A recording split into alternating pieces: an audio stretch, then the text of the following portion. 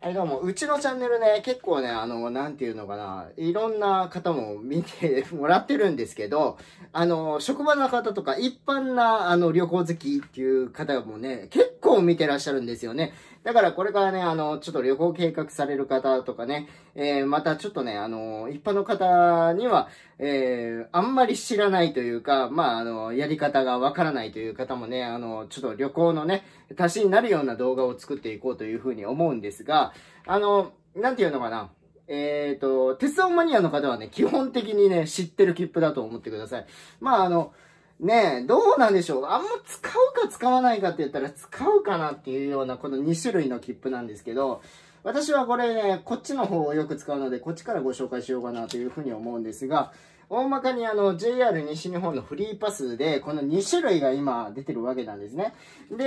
えー、こちら秋の関西ワンデーパス。これ季節によって変わるんですが、まあ、基本大まか、その、秋のとかね、春のとか、夏のとか、冬のとかね、このなんとかの、この辺だけが変わるぐらいで、まあ大体ね、細かくはちょっと変わってくるんですけど、基本的エリアは変わらないようなパス。で、えー、まあいろいろ季節によって値段も変動するんですが、こっちがね、えっ、ー、とね、えー、こっちは秋か。秋のワンデーパスと、こっち夏のワンデーパスっていうのがあって、えー、夏の方は3670円だったんですが、こっちの方が3600円になって70円安。現在のね、えー、今発売中のものは70円安になっています。はい。というわけでね。で、もう一個のね、切符なんですが、こっちがね、休日ぶらり旅切符っていうものがありまして、これがね、えー、2600円。で、えー、結構お得だと思うんですよ。で、パスエリアはね、関西ワンデーパスエリアに入る、プラス、福知山のエリアが、えー、入っています。ですのでね、この2つってね、結構お得なんじゃないかと思ったら、いやいや、そうでもないんですよ、とかね、思ったりするので、えー、私はどちらかというとこっちをしてるんですけど、こっちはあんまり押さないかなっていう風な感じで、じゃあどういうことがあれなのかっていうのをね、えー、ちょっと説明していきたいと思います。まず、関西ワンデーパスっていうのは、まあ、JR アーバンネットワーク、えっ、ー、とね、西は播州赤穂上郡で、北というか、えー、北東って言ったらいいんですかね、北陸の玄関口、敦賀まで行くことができます。まあ、すなわち、新快速が通ってるルートは全部行けますっていう感じですね。で、南は和歌山、そして桜井というとこまで使うことができます。で、まあ、そこの以内、大阪市内とかね、えー、そのあたりはもう全然使える大阪環状線何千何歩、何周しても大丈夫というような、そのような、えー、切符なんですが、えー、まあ、行って、あの、改札出ないでそのまま折り返すとかももう全然可能なので、乗り降り自由になっています。で、えー、関西ワンデーパス。で、さらに、京阪電車、南海電車、近鉄電車のいずれかのチケットがあります。これね、あの、エリアが分かってるんで、あの、あるんですが、え、京阪電車は確かね、あの、フリーパスになったはずです。はい。なので、なかなかお得なんですが、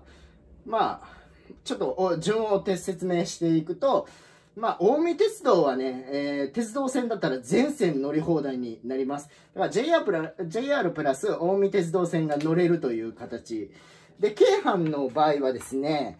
えー、まあ、京阪のね、えー、乗り放題区間は京阪線のほぼほぼ全線が、えー、乗り降り自由という形になっていて、さらになんかね、え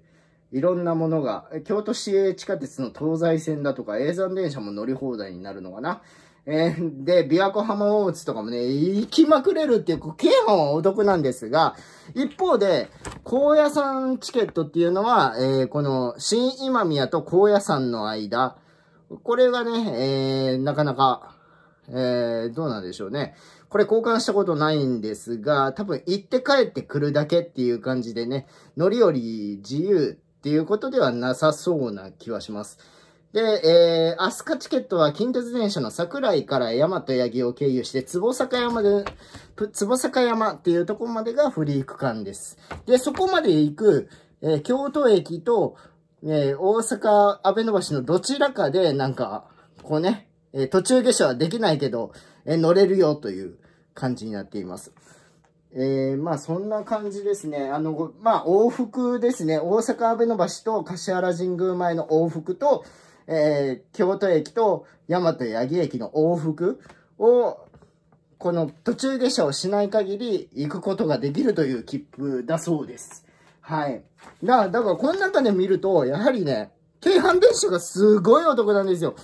京阪電車の乗り放題区間って書いてるので、京阪電車が乗り放題、京都市営地下鉄乗り放題、永山電車、永山ケーブル、ロープウェイ、で、永山、比叡山内シャトルバス、エアカーバス、えー、坂本ケーブルとなんとこんだけついて、これはね、京阪好きな方にはたまんないだろうなっていう感じになるんですが、さらにさらに、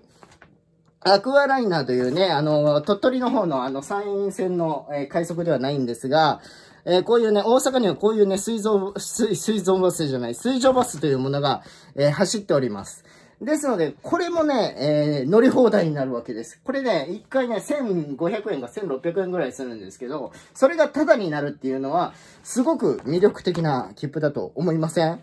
あの、アクアライナね、大阪城のね、大阪城公園から出てますので、ぜひ見ていただけたらと思うんですが、えー、そんな、えー、切符なんですよ。で、他にも、えー、京都鉄道博物館1200円で今、普通入場券があるんですが、それが1割引き、プラスオリジナルグッズがついてくるというようなもの。えー、アクアライナーは言ったね。で、えー、まあ、あの、さっきのチケットがあるというようなものと、えー、まあ、平日の利用がかとかね。で、こちらは特急はね、え特急料金払えば乗ることができます。ですので、え、まあ、あの、ちょっとね、新快速に疲れたから大阪からサンダーバードで敦賀まで行こうということであれば、この、えー、乗車券とプラス特急券のみで行くことができます。はい。ということでね。で、まあ、これが一つの魅力っていうのがこちら。で、休日ぶらり旅切符ということで、こちらはね、休日限定でございます。平日は使うことができませんが、2600円となっています。で、こちらは先ほど関西ワンデーパスの区間にプラス福知山エリアが入っていて、まあそんなにね、はい。もう見るからに安いだけであり、特急乗れません。で、JR 線のみです。で、福知山が追加されただけです。休日のみです。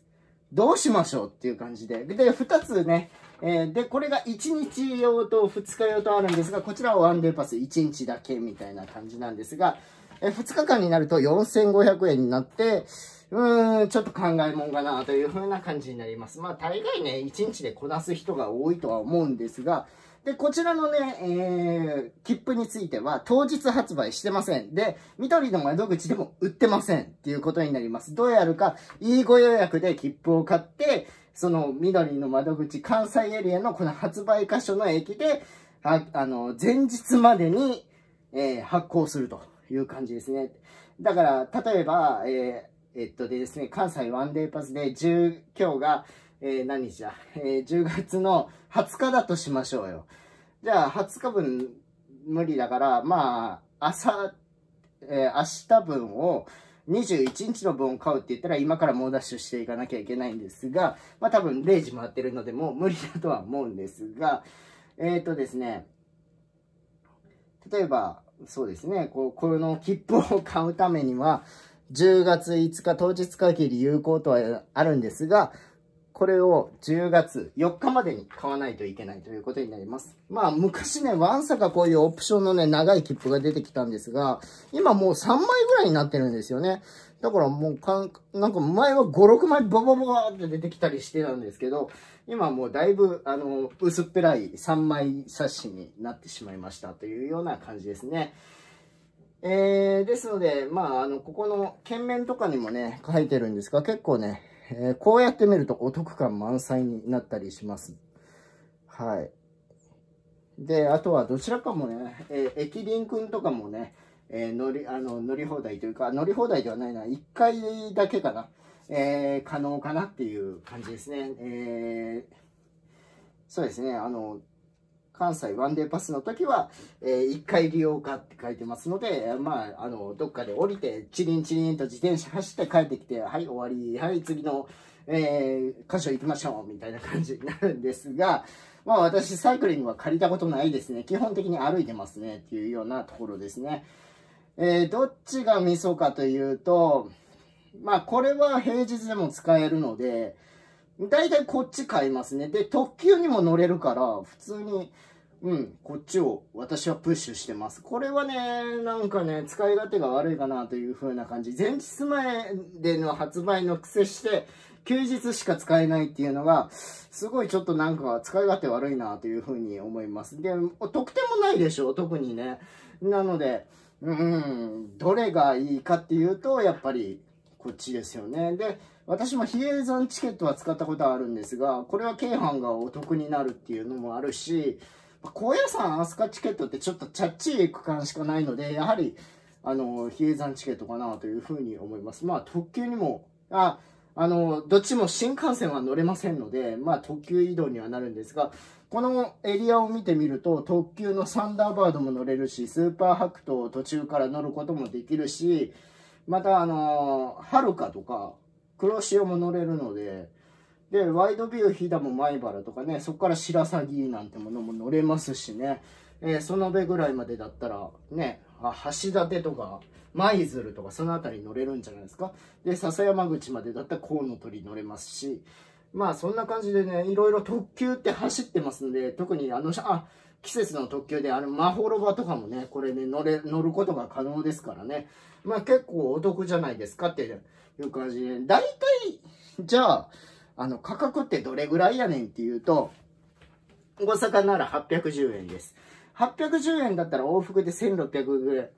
これはじゃあ、元取れないじゃないかというふうに思うんですが、奈良、京都と回ったり、また宇治とかで途中下車するのであれば何回も買う必要はないので、これで乗り降り自由になって、さらに、ちょっとあの、行きたいとこか、だから近江八幡まで行ってみようとかなって、そこから帰ってくるだけでも、もう元は取れるんじゃないかなというふうに思います。まあ、大阪奈良を往復するだけではちょっとこれに満たないんですが、例えば播州はこうに住んでる人がいて、敦賀までちょっと旅、新快速乗ってみようって言ったら、4510円かかります。だいぶ得ですよね。で、播州はこうから和歌山、えー、播州はこうというところは相生から神戸、そして大阪を出て、天王寺から関空修士快速、和歌山まで行くと、これ3410円ですね。で、大阪に住んでる方、また大阪近辺の方で、大阪から新快速に乗って敦賀行ってみようとなると、2310円かかるので、往復でまあ4000円、5000円近くなってくるわけですよね。ですので、この、この辺りのか、あの、家庭はすごいおすすめなんですよね。で、例えば、もう一個ね、あの、すごい修行の旅みたいな感じになるんですけど、和歌山から敦賀っていうのがあって、これも3740円。私一回やったことあるんですよ。結構ね、乗り換えがね、きついというかね、感じになるんですが、敦賀からね、えー、まあ、普段のルートで行けば、大阪から関空騎手寺快速、または、えー、和歌山駅に、あの、ごめんなさい、騎手寺快速で和歌山ですね。えー、行くと、まあ、それ一番早いんでしょうけど、敦賀からちょっと気が変わって草津で降りて柘植、えー、で、木津から奈良に出て桜井、和歌山と経由していくこともでできたりしますので、なかなか面白いなというのが、このなんか切符のね、えー、まあ途中下車できますからね、乗り継ぎの間に改札出ることができるのでね、柘植で30分待ちの間、駅前を歩いてみたとかね、でき、できたりするんですよね。まああの、ちょっとね、この、えー、切符っていうか、そのあたりで、近江8万ぐらいだったら、まあ、往復2680円。ちょっと足りないかなというんですが、このあたり彦根とかね、彦根はいますけど、彦根とか長浜とかセットで回るとだいぶ元が取れてきたりとか。で、あとはなんか姫路なら2310円でしょ？ということは、なんかこれも結構時間はかかるけども、新快速と大和路快速乗り付ければ、まあまあ、安いっちゃ安いんかなというふうに思います。で、まあ、往復4000円ですかね、元取れてますよねっていう感じですよね。まあ、あのここにも、和歌山、京都とか書いてみたんですけど、1870円。もうこれもまた元取れてますからね、非常にいいんじゃないかなというふうには思います。だから長距離乗れば乗るほど、元は取れるというか、新快速を片っ端から片っ端まで4510円。これをどう取るかですよね。こんな距離を新快速が走ってるわけですよ。ですので、えー、これはね、あのー、3600円の価値はあると思うんですよね。だから、例えば、例えばですよ、大阪からよくやるパターンで、私がよくやるパターンは、大阪から敦賀行って、敦賀から播州和光まで行って、播州和光から和歌山に行って、和歌山からこうね、またどっか奈良とか、その辺をぐるぐる回るとか、そういうことも可能です。はい。めっちゃ空業でしたけどね、12時間工程とか18時間コースみたいなね、感じでね、あるんですけど、なんかすごく、あのー、関西ワンデーパス旅をやった時は、尼崎スタートして、まあ、ざーっと敦賀まで行って、敦賀から米原の方に降りてきて、えー、草津線乗って、で、木津、奈良、天王寺、天王寺からこう、和歌山とか出てね、まあ、和歌山からね、多分戻ったと思うんですけど、まあ、まあ、和歌山線とかで2時間かけてまた奈良に出るとかね、そういうことをやって、まあ、多分大阪まで行って、大阪からこう途中の明石で、明石海峡の夜景見て帰ってきたとかね、そういうこともやって、もうヘロヘロなこともあったんですけど、まあそんな旅路もできます。で、これはどちらも、どちらもというか、これはもうワンデパスで1日、1日2日間。ね。えー、と、あるんですが、やはり、青春18切符っていうのが、まあ、1万2050円で全国のあの JR とかね、特急乗れないですけど、だから、そうですね。いや、よく考えると、この1日用っていうのは、青春18切符の1回分のお値段ぐらいっていう考えると、まあまあ納得できるかなというふうに思うんですが、まあその2600円でね、その、なんていうのかな、青春18期、1本の、えー、お値段で、この福知山が追加されてるだけって、しかも特急乗れないっていうのは、うん、どうなんだろうな。もっとこうね、なんか西へ行かせてくれよとかね。JR 西日本管内で青春18切符で2日用とかあるんだったら、もうちょっとこの山陽本線の奥の方まで行けたらなとは思ったりするんですが、やはりその辺はちょっとね、えー、まあなんだかんだ無理だったんだろうなというふうには思うんですが、結構でもどちらに比べても破格だと思ったと思いますので、ぜひね、あの、緑の窓口には売ってませんので、緑の券売機でお得な切符というコマンドをポンポンって押すと出てきますので、もしよかったらこの切符、えー、使ってみてください。あの、で、当日は使うことはできませんので、あの、前日までに、あの、使ってみてください。はい。窓口に行っても、まあ、発売してくれませんのでね、えー、ぜひね、えー、この、なんかこの機会にですね、ワンデーパス旅とかね、やってみるのもありかもしれません。以上、私ね、髪の毛切りましたのでね、えー、それだけ言っておきましょう。昔ね、ちょっと髪の毛長かった時代もあったんですが、もう単発になってしまいましたね。あらやだよ、という風になってしまったので、まあまあ、あのー、これからね、ちょっとね、髪の毛短い私になれるかどうかわからないですが、皆さんのね、顔にまた、出てくると思います顔というかね、皆さんの前にまた出てくるかと思いますが、その時はまたどうぞよろしくお願いいたします。ということでね、今回はこの切符2つを、えー、ご紹介させていただきました。ということでね、えー、だいぶ要点は言えたと思います。はい。またなんかね、こうね、リーフレットとか駅に置いておりますので、私の不足事項があれば、えー、これを読んでいただくとですね、あれば、いいかなと。あ、で、ごめんなさい。一個だけ言うの忘れたんですが、あの、発売期間ありますので、11月29日まで。で、ここから先には冬の関西ワンデーパスとかに変わったりするんで、これは、おそらくね、関西ワンデーパスに関しては、1年間ほぼ通年で売ってます。ただ、この秋のとか、冬のとかね、先ほども申し上げた通り、名前変わりますし、この内容もちょっと変わったりするので、まあ、このフリーエリア区間は、だいぶ、そうですね、変わったりはしてないんですが、まあ、ちょっと若干変わったりするかもしれないので、また、このね、えー、関西ワンデーパスっていうのをね、えー、季節ごとに変わる楽しみっていうのもありますので、ぜひね、あの皆さん、えー、一度、こういうリーフレットにね、目を通してどこが変わったのか、どこが変わってないのか見るかも楽しいかもしれません。こっちはもうちょっとね、私はね、使わないのでね、あの、使った人には申し訳ないんですが、はい。またこういうね、後ろにもちゃんと書いておりますので、ぜひね、えー、見ていただければと思います。はい。はい。ご視聴いただきましてありがとうございました。またお会いしましょう。